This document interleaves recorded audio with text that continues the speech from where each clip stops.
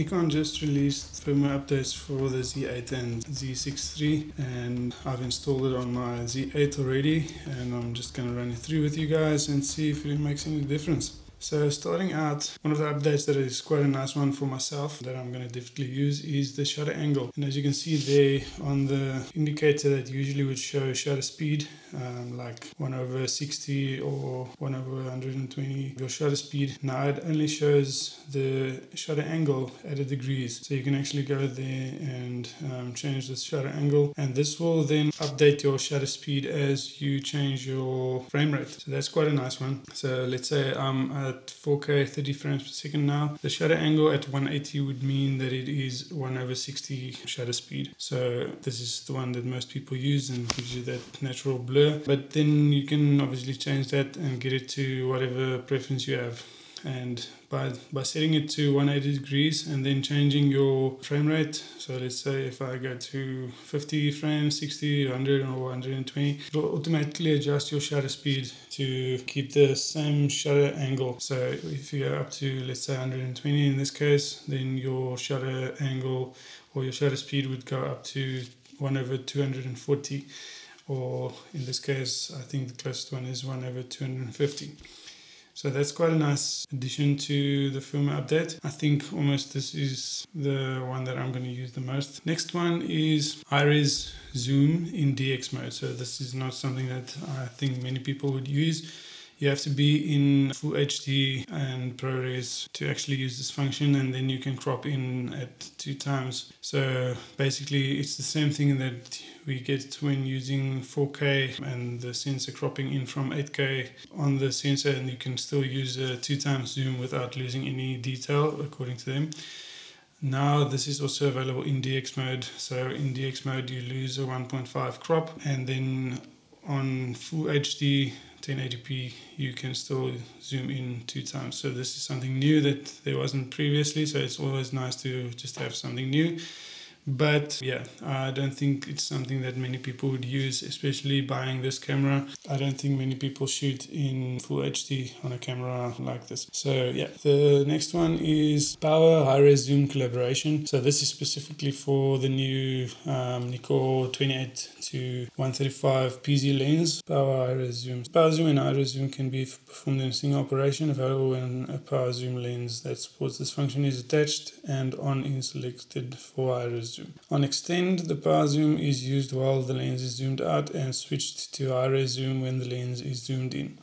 So basically, when you reach your maximum zoom on the lens, the high-res zoom will take over to give you another two times zoom. On sync, the power zoom and high-res zoom are performed simultaneously while the lens is zoomed in and out. So as you zoom, zoom in on the lens, the camera also zoom in on the sensor. So yeah, uh, very nice, um, very nice feature this. I would really actually consider buying this lens just because of this feature. Only downside is that you have to be in ProRes and I prefer shooting in NRAW. It gives me more flexibility in post-production. It's a pity that they don't allow this um, to be used on NRAW, but at least it's there with ProRes RAW and it's quite a nice feature. Next one is a zebra pattern color customization and on this it's a bit difficult to show on screen but when you go into your zebra pattern you can now change the color so zebra pattern color and this is now in black. You can now choose, there was never an option to choose any color, so you can now choose gray, red, green or blue in addition to black. So yeah, this is quite a nice one. Um, I think you'd obviously be able to see a bit better if you are overexposing because most of the time when you are overexposing it's completely white in that region. And showing it maybe in red or green sometimes the sky is blue so i wouldn't say blue would be a great color to use but red and green i think would be a very good way to see overexposure. Me just see if i can actually get some overexposure for you guys going here. So i set it to red now. Let me just set my iso to very high yeah and as you can see there it is now turning red and then if you change this to green it'll be green and if you go to uh, blue it'll be blue and then also gray. I would say personally that red or green would be the best ones. I think I'm gonna stick to the red for now and then see how it turns out and I'll maybe switch later on. Next thing that updated and and by the way this all these features are both for the Z8 and the Z6 III updated. Customizable brightness for on-screen info. So this is also a nice one. It's not something that um, makes a huge difference, but it's definitely something nice that they included um, brightness info display. So if you go in here, I prefer the waveform. If you go in there, you can choose your size. So if I'm going to turn this on, I would actually consider using the large. As you can see now, it's just this little small um, waveform here at the bottom.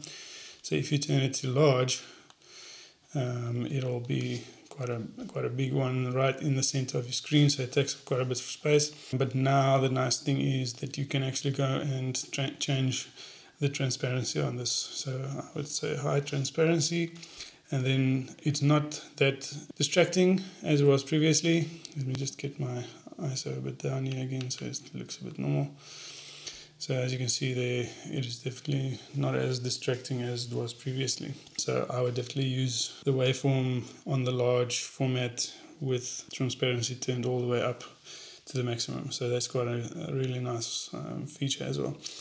So mostly small things in this update, but it's definitely life improvement things. The ne next one is shooting modes for photo and video. So I was a bit disappointed. I, I read this and I thought that it would now be the actual custom settings bank and the video shooting menu bank and the photo shooting menu bank but it is not so it is actually on the top here if you go to your mode and you select mode and then you change to P or S or A or M. This would now be independent of each other when you flick the switch to camera or video. So as you can see, let me just switch here to A and then as I switch back to video, it'll automatically go back to manual mode. Um, so this is a, an improvement. It's not exactly what I was hoping for when I first saw it. I was hoping once you flick the switch that it would actually remember your custom shooting and custom settings banks and reload them back to where they were when you had camera or video mode on. It's an improvement, but it's not something huge. Then they obviously had some quite a bit of um, bug fixes and things that they included. So that's basically the biggest features of this update. It's definitely a nice one. I reached out to them on Instagram when they posted the video or the photos showing the update and ask them because the one thing that I'm waiting for is imaging cloud on the Z8. They haven't responded at the time of recording this video. So let's see if this would come. I can't imagine that they would leave out the Z8 from imaging cloud. It's such a high-end camera and it's not old. It's got the same processor, if I'm informed correctly, than, than the Z6 III has.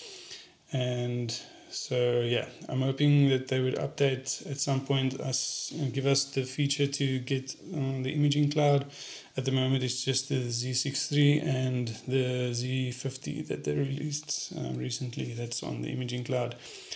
But yeah, let's see um, and fingers crossed for another update. But yeah, that's it for now, guys. I'll post the link down in the description to the firmware updates that you can click on and go directly to, to there. And also the instructions on how to do it is on their website. So click on updating the camera firmware and there's a nice layout of anything basically that you would need to know for updating. One thing that I can definitely just give you a tip of is you have to format the SD card in the camera before putting it in your computer and transferring it. I formatted it in the computer and it didn't work. Another tip that I can maybe tell you is that if you are like me and tinkering with your settings and wouldn't like to just lose everything, I would say definitely go to your settings and save load menu settings. So save your menu, settings on an SD card and use a different one or copy it to your computer and then put it back once you are done with the update. I would say definitely that saved me a lot of time. Now I don't have to do all my personal settings back. Anyways, thanks guys for watching and I'll keep you updated if I hear anything further or any other camera updates and things. If you are interested in something like that, definitely click subscribe and I'll see you guys in the next one. Cheers.